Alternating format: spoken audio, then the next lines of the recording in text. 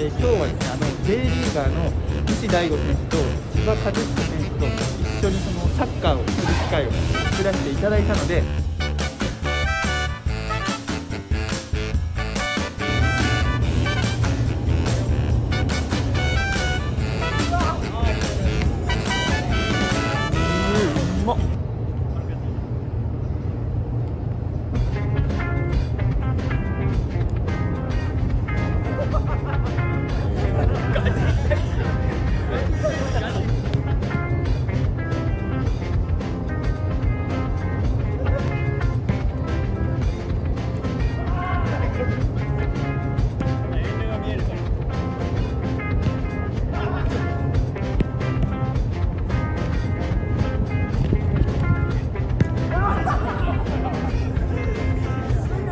入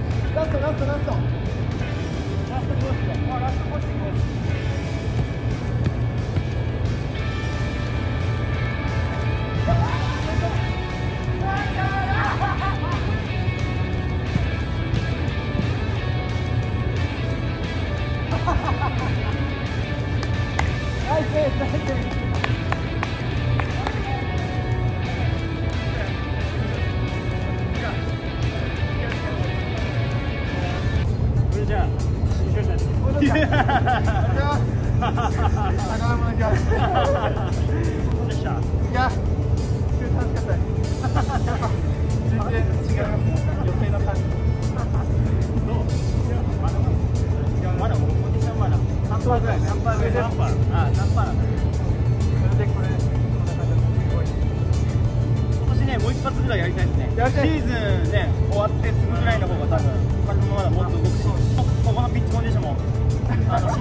宿のピッチコンディションも分かったんであれはねプロに入ってもらってそれで願わくばね。一緒にできたらできたらいい。一番ベストです。はい。はい。正直あの結論から言うと全然変わんないってことプロもう目指してる人もレベルは 結構アドバンテ